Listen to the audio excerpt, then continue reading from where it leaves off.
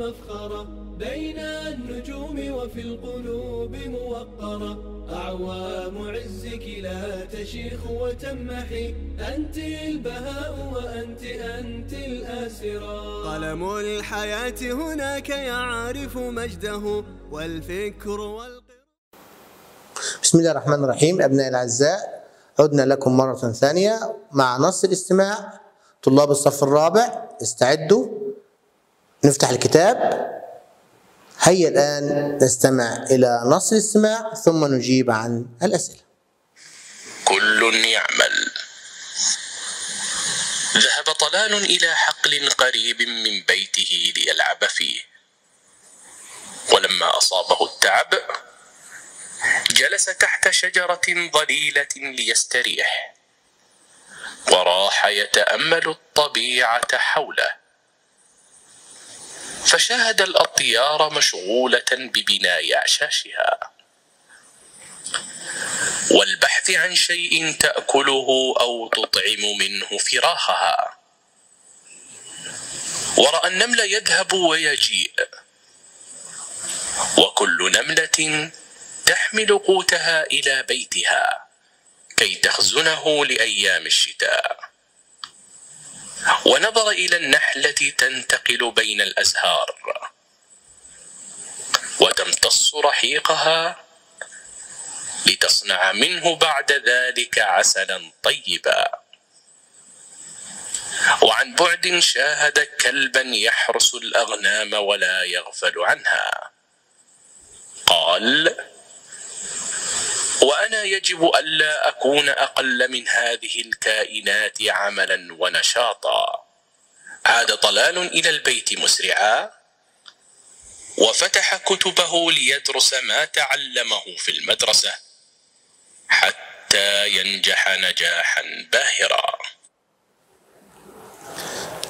بعد أن. بعد أن استمعتم أي أبنائي الأعزاء إلى نص الاستماع. هيا الآن نجيب عن الأسئلة. السؤال الأول ذهب طلال إلى السوق البيت المسجد الحقل. أحسنت. ذهب طلال إلى الحقل. إجابة صحيحة. الحيوان الذي لم يذكر في النص من بين الحيوانات الآتية هو الكلب الغنم البقر الطيور. أحسنت. إنه حيوان البقر. النمل والنحل يضرب بهما المثل في الاجتهاد الكسل القوة السرعة. أحسنتم. يبدو أنكم قد استمعتم جيدا. فصل من الفصول الأربعة. ذكر في النص. الفصول الأربعة شتاء صيف ربيع خريف. أي فصل ذكر أحسنتم. إنه فصل الشتاء. أرجو من جميع الطلاب أن يجيبوا عن هذا التدريب. السؤال التالي أكتب أمام كل صورة كل حيوان مما يأتي بجملة تدل على العمل الذي كان يعمل في الحقل يعمله في الحقل.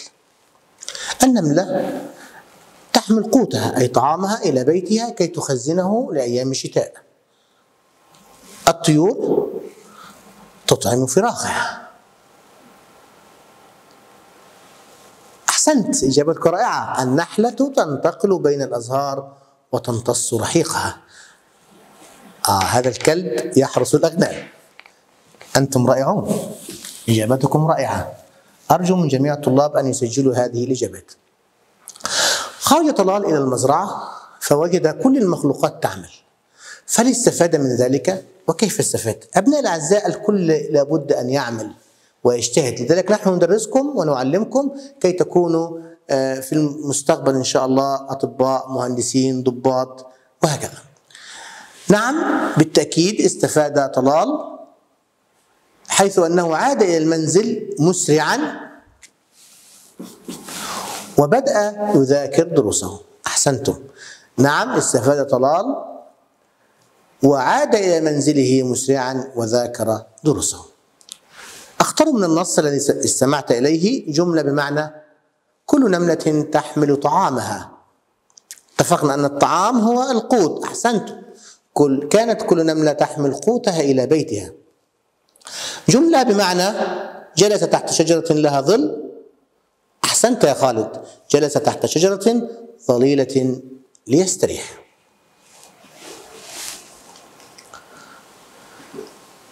بمشاركة من بجواري نقترح عناوين أخرى للنص ونكتبها. النص الذي استمعتم إليه أحسنت أهمية العمل العمل في حياتنا العمل طريق النجاح. كل هذه عناوين آه تكون بدلا من العنوان أهمية العمل العمل في حياتنا العمل طريق النجاح عناوين مناسبة لها. ورد لفظ المفعول المطلق في آخر جملة من النص. أتذكرها وأكتبها بخط جميل. اتفقنا أن المفعول المطلق هو اسم منصوب مأخوذ من لفظ الفعل ليؤكد معناه. أعد مرة أخرى. المفعول المطلق عد معي اسم منصوب مأخوذ من لفظ الفعل يؤكد معناه. ورد لنا في النص أيضا هذه الجملة حتى ينجح نجاحا باهرا. أين المفعول المطلق؟ أحسنتم نجاحا. أخذناها من فعل ينجح. نجاحا أخذناها من الفعل ينجح. باهرا ليست مفعولا مطلقا لأنها لم تؤخذ من الفعل. انتبه نفس حروف الفعل فيها نفس حروف المفعول المطلق. عاد طلال من الذي عاد؟ طلال. إذا طلال فاعل. إلى اتفقنا درسناها. إلى حرف جر والبيت اسم مجرور. عاد طلال إلى البيت مسرعة. أضع فاطمة بدل طلال. إني أسمعك. عادت فاطمة إلى بيت إلى البيت مسرعة. أحسنت. عادت فاطمة أحسنت إلى البيت مسرعة. الأزهار الأطيار الكائنات الأعشاش. ألون الجمع المختلف وأسمي نوعه. هذا السؤال سؤال رائع جدا. الأزهار ما نوع هذا الجمع؟ أنواع الجمع شباب ثلاثة. مذكر سالم مؤنث سالم تكسير. أحسنت. الأزهار جمع تكسير. الأطيار؟ أنت رائع. أيضا جمع تكسير. الكائنات؟ آه ليس جمع تكسير. الأعشاش أحسنت جمع تكسير. إذا الجمع المختلف هو الكائنات. آه من يذكر نوع هذا الجمع؟ أنت مبدع. جمع مؤنث سالم. أحسنت. إذا الكائنات ونوعها جمع مؤنث سالم. أضع خط تحت الجمل المثبتة وخطين تحت الجمل المنفية. فتح كتبه كتبه ليدرس. مثبتة. أنت رائع. لا يغفل عنها. منفية. لا أكون أقل هذه الكائنات أحسنت. منفية.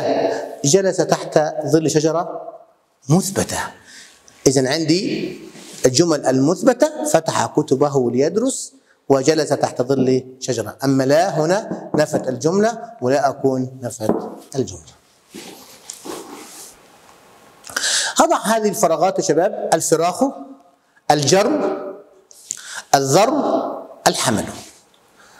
الفراخ تعرفون الفراخ؟ نعم هي صغار الطيور. آه. الذر يا أبنائي هو ها الذر أحسنتم هي صغار النمل. الجر هو الكلب الصغير. آه أحسنتم الحمل.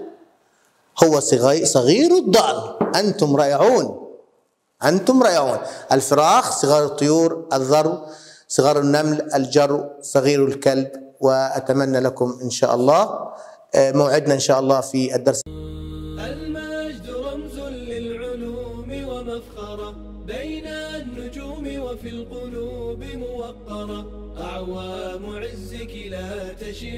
وتمحي أنت البهاء وأنت أنت الآسرة. قلم الحياة هناك يعرف مجده والفكر والقلب